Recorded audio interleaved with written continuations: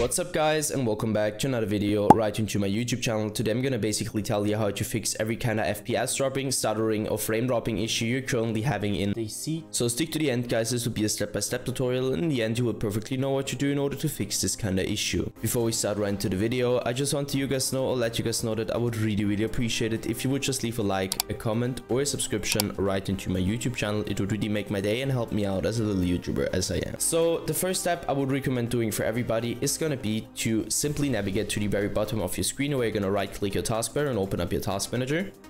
So once you did that, I want you to navigate to the top left corner of your screen, clicking onto processes. And once you click processes, I want you to click CPU.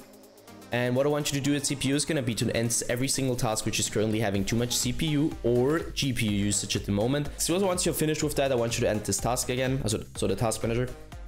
Afterwards, navigate to the bottom left corner, click on the Windows symbol, open up your settings, hit gaming, so this one. And I want you to stick around the Xbox game bar, where I obviously want you to turn this off because the Xbox game bar doesn't really come with any benefit besides impacting your performance really bad. So just simply turn this off. Afterwards, hit captures. Uh, you're gonna stick around background recording and go to record in the background while I'm playing a game and obviously turn this off. Afterwards, hit game mode.